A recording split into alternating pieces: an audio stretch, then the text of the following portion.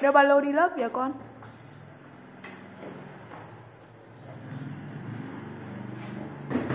Cô là cô, cho cô uống sữa nhiều cho